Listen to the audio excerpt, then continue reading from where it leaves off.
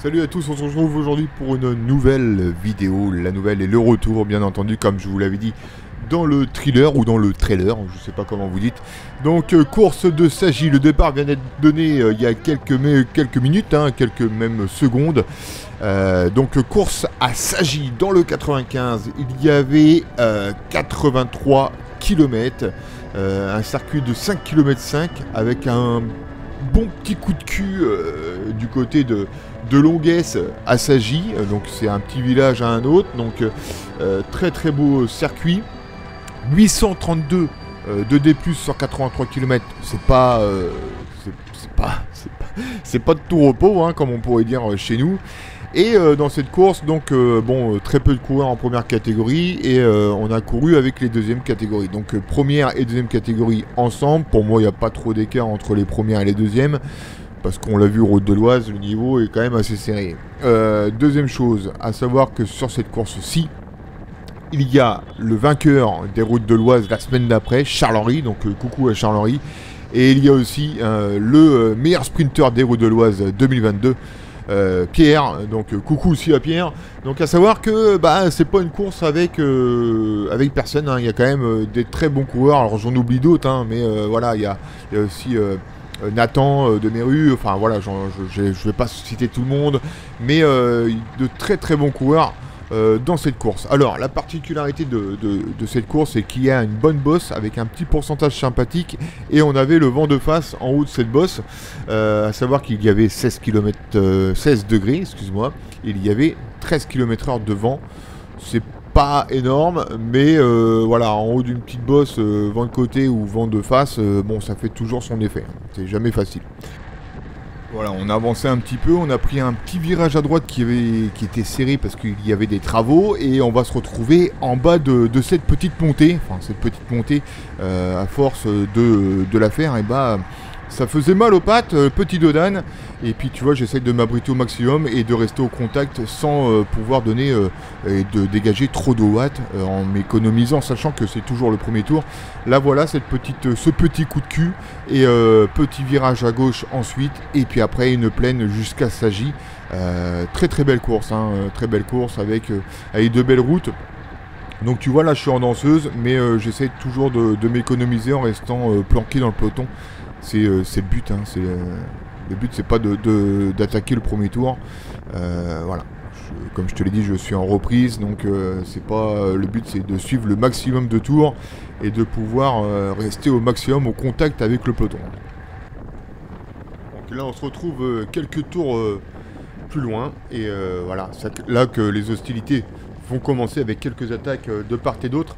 Et tu vas voir que bah, je vais essayer de, de contrôler au maximum euh, cette, euh, cette, course parce que euh, je suis pas mal, j'ai des bonnes jambes et c'est pas moi de faire les efforts. Hein, donc j'essaie de contrôler et de rester toujours au même train sans pouvoir prendre tous les à-coups parce que bon voilà quand tu reprends une course surtout après une longue absence bah, la PMA bon tu l'as pas travaillé sur un entraîneur énormément donc il faut savoir doser son effort et tu vois qu'il y a Nathan qui a qui est là avec le dossier 111 du WC Meru.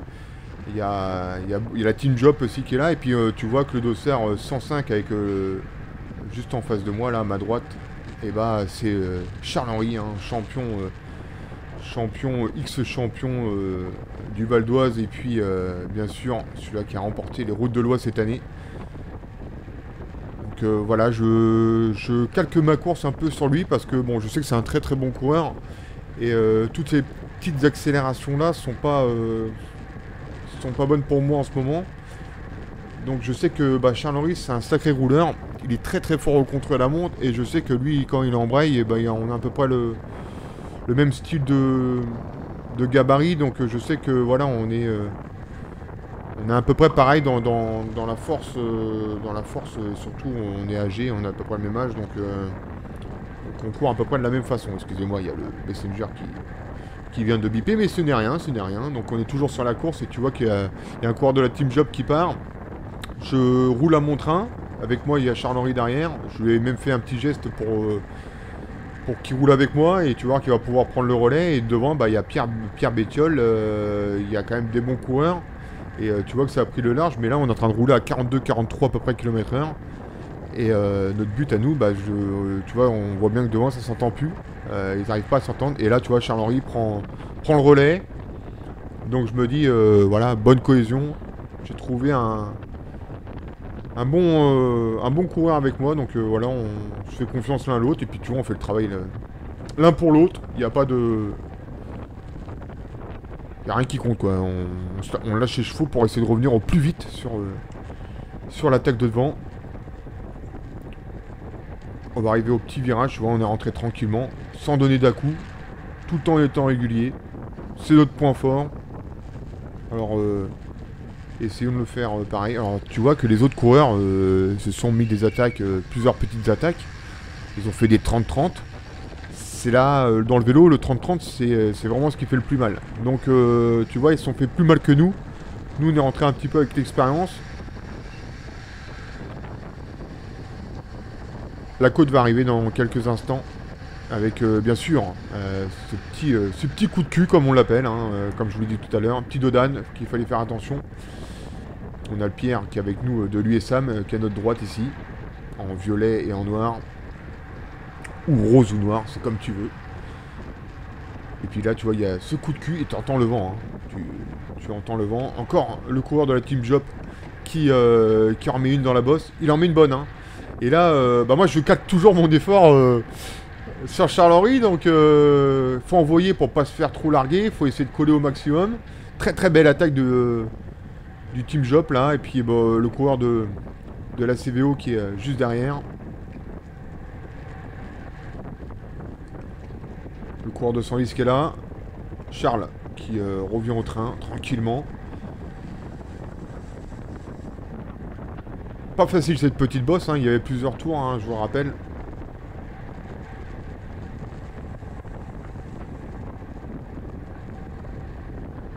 Et on peut voir que, bah... Que, bah, Charles-Henri va en mettre une.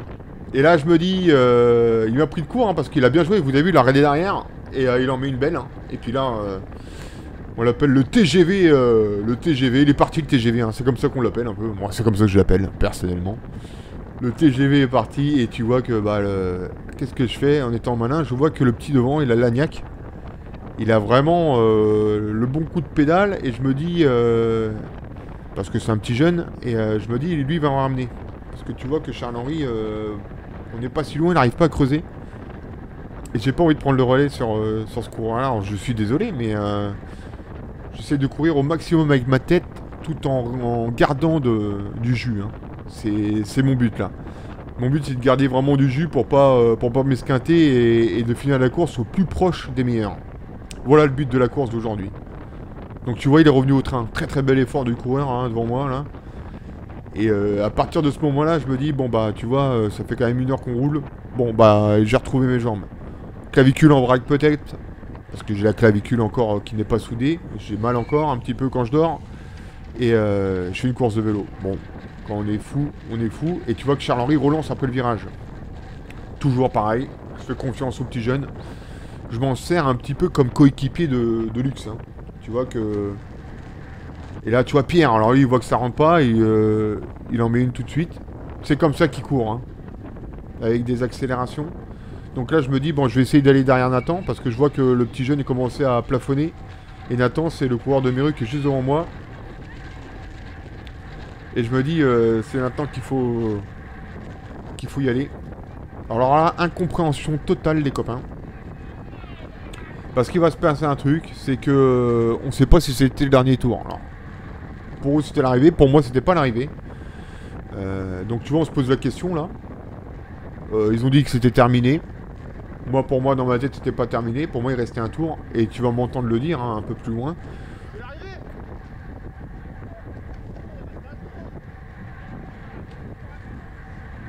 Il dit la même chose que moi, il reste un tour. Charles-Henri, il a fait son effort. Parce que lui... Voilà. Avec la particularité de ce parcours aussi, il y avait la bosse, mais aussi il y avait ce caniveau qu'il fallait faire très attention, très dangereux. Donc en fait, le but là, euh, je leur dis on continue, franchement, on n'a rien à perdre. Si c'était l'arrivée euh, juste avant, bon bah c'est pas grave, hein, euh, je fais sixième. Et euh, allons-y, soyons fous. Faisons un tour en plus. Conditions de course totale. Ça nous fait pas de mal. Moi, ça me fait pas de mal particulièrement. Et ça fait de mal à personne. Et puis, on, se retente une arrivée, quoi. On se fera une deuxième arrivée. Alors, moi, dans ma tête, c'était pas l'arrivée. Il restait encore un tour. Je pense que dans, la tête de, chaque personne, c'était autrement. Euh, bah, Charles-Henri, je pense que c'est... Il pensait que c'était vraiment le dernier tour. mais bon, on n'a rien à perdre. Dans deux semaines, on fait les routes de l'Oise. Donc, un tour de plus, un tour de moins. On est entraîné. Donc, allons-y, soyons fous. on se fait péter la durite. Donc là, je suis derrière Charles-Henri qui est toujours dans son effort. Hein. Il est reparti, hein, le rouleur. Il écrase les pédales comme d'habitude. Et puis, bah, je suis derrière lui. Alors, tu vois qu'il y a un coureur qui est parti devant. La particularité de, cette chose, euh, bah, on sait plus trop, quoi. On dandine. dans la tête, hein, je veux bien dire. Et puis, euh, puis c'est reparti. C'est reparti, la course est lancée. Alors, personne ne veut prendre le relais. Ni moi, ni quelqu'un d'autre. Je crois que c'est Nathan qui est devant. Il y a toujours la voiture heureuse et la moto. Donc euh, c'est pour ça que ça m'a fait tilt en disant bah il reste un tour. Hein. Si encore la moto et la voiture, euh, pour moi il reste encore un tour. Sinon t'as pas de voiture heureuse et t'as ni une moto. Donc c'est ça qui nous a, induit en, nous a induit en erreur. Ce fait là m'a fait euh, douter. Même si je le répète. Sanlis qui part. Le coureur de Sanlis. Et puis derrière, c'est en ligne, hein. ça bouge pas. Le coureur là qui... Euh, allez, ça reparti. Euh, j'ai remobilisé tout le monde. Alors on rappelle que j'ai fait quand même, euh, je pense, sixième, sixième ou cinquième, je crois. Et puis là, je dis, bon, allez.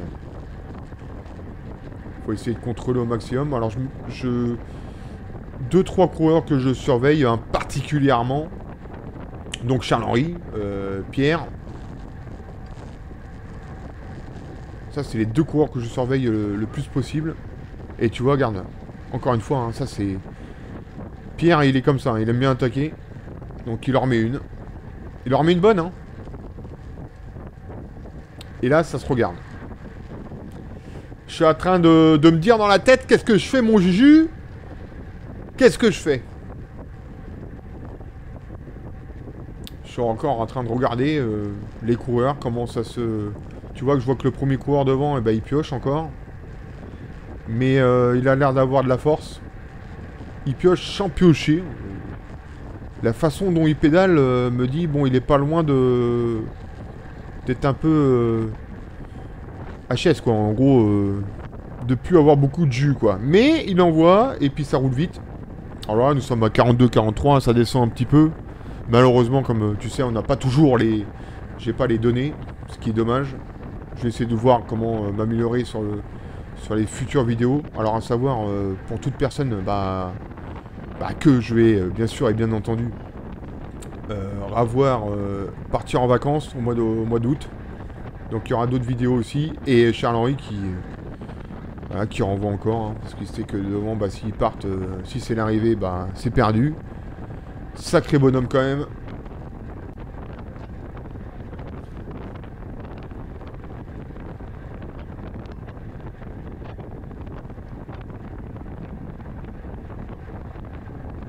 Et regarde, euh, ça envoie. Hein. Faut coller derrière, hein, bonhomme. Hein. C'est ce que je fais, je colle. Et regarde, et regarde bien, et regarde bien. Il va s'écarter un petit peu, tu vas le voir à la caméra. Et regarde. Regarde-moi cet effort. Regarde-moi cet effort intelligent. C'est pas formidable quand même. Quand tu vois ça, là. Il y en a qui courent en faisant des 30-30. Il y en a qui courent en faisant des longs seuils. Il y en a qui courent autrement. Lui, tu vois, il court euh, mode contre la montre. Il a pas besoin de suivre toutes les attaques. Euh, et, voilà quoi. je suis un peu comme lui. Mais qu'est-ce qui... Qu'est-ce qui... Qu'est-ce qui court bien? Je analyse, hein. J'analyse vraiment la course en même temps que vous. Euh, je suis coureur euh, de base, voilà, bon c'est ma caméra. Mais je suis à analyser, à analyser comme vous, tu vois. Euh, quand tu revois des courses comme ça, tu te dis, bon, bah, t'as pas trop mal couru quand même. Bon, c'est pas pour me vanter, hein, c'est la réalité. T'as pas trop mal couru pour une reprise. Déjà, bon, bah, dans ta tête, euh, t'oublies un petit peu ta clavicule. Bam, t'as pas peur de tomber, c'est bien. Et, euh, et, là, bah, là, Là, ça repart. C'est le moment qu'il faut la mettre. Il faut la mettre là. Il faut en mettre une. Comme je t'ai dit, je marque deux coureurs. Charles-Henri et je marque Pierre. Donc pour l'instant, je suis derrière un des deux. Je vais pas faire plus d'efforts que ça. Je suis pas non plus en pleine forme. Hein. J'ai des bonnes jambes, mais pas en pleine forme. Et tu vois, cette course-là, en train de me rassurer pour le, les, futures euh, courses. Même si, euh, quand tu tires sur le guidon, bon bah t'as mal. T'as mal. Tu te fais mal quand même un peu. C'est vrai que c'est pas... C'est pas des bonnes conditions au niveau des épaules et au niveau tirage guidon, tu. Là, c'est comme si j'avais une main, quoi. Je tire pas sur la main droite. Parce que quand je tire dessus ou je me mets en danseuse, eh ben j'ai mal. Les routes de doigts, j'ai souffert. Un exemple. Parce que quand euh, je vous montrerai euh, la photo euh, à la fin de cette vidéo de la clavicule cassée, et vous allez comprendre que la clavicule est cassée en deux morceaux. À partir de là, j'ai pas été opéré, j'ai pas eu une broche, j'ai rien eu. Donc la, calcification, c'est comme ça qu'on appelle, je crois que c'est comme ça, si je me trompe pas, dites-le moi si je dis des bêtises, mais bah, ça va mettre plus de temps. Parce qu'il y a... Elle est pétée en deux, mais bien pétée, quoi. Et donc maintenant, aujourd'hui, où je te commande cette... Euh, au moment où je te commande cette vidéo, et eh bah j'ai une grosse boule. Une grosse boule, euh, bien entendu, au niveau de, de, la clavicule. Hein. On va pas chercher d'autres choses ou autres, euh, des idées farfelues. On arrive près de l'église. Il faut savoir qu'on est juste à côté de l'arrivée. Il reste à peu près 800 mètres.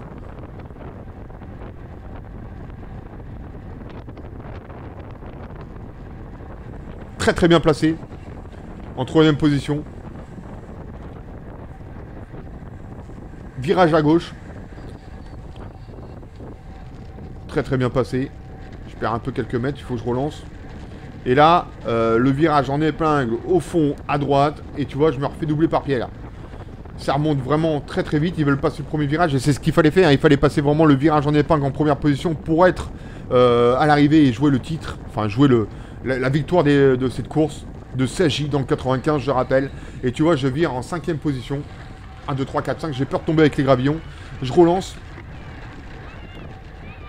Je relance, je relance, je relance comme je peux. Je relance, relance. Voilà, je fais euh, cinquième. Sachant qu'il y avait un coureur qui était en tête devant. Il avait plus de 2 minutes d'avance. Donc cinquième. Donc résultat final, je fais cinquième de cette course. Belle reprise avec des coureurs quand même très bons. Et puis voilà quoi, c'est la course de reprise pour moi. Il y aura bien sûr les routes de l'Oise, on n'a pas pu les filmer. Alors pourquoi les routes de l'Oise, j'ai pas pu les filmer? Parce que c'était interdit par l'organisation. Alors l'année prochaine, si je refais les routes de l'Oise, euh, vu de l'intérieur, je demanderai à l'organisation si on peut filmer de l'intérieur et on peut commenter ces courses.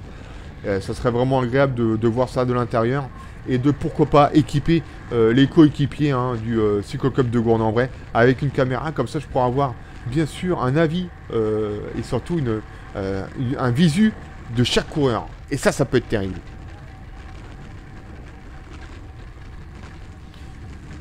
Voilà les gars, moi je vous souhaite une... Je suis heureux de vous avoir retrouvé quand même pour cette nouvelle vidéo. Et puis bah je vous dis à très très vite. Alors à savoir que après cette course là, euh, je suis retombé euh, dernièrement euh, hier, le 14 juillet. encore un problème. Alors oui, effectivement, j'ai pas de chance cette année entre l'hernie, soi-disant l'hernie que je vous ai expliqué dans les anciennes vidéos, entre la clavicule cassée, entre une chute hier, et bah le 14 juillet plutôt.